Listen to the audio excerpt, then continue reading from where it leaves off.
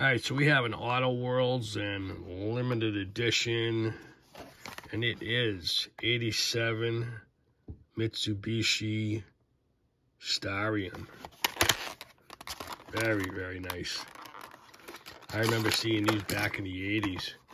And uh, this is a very quick car. I had a buddy who had one of these. And uh, these are pretty wild. Good looking, too. I don't know how reliable they were. Good detail on this thing. Very, very sharp. Very nice. Love the back detail. Absolutely.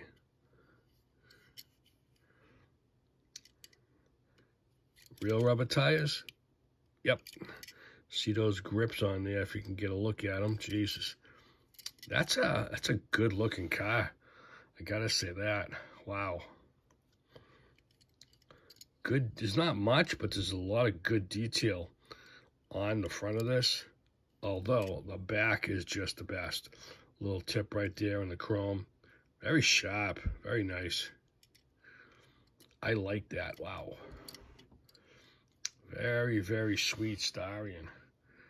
Thanks for watching it, guys. Have a good one.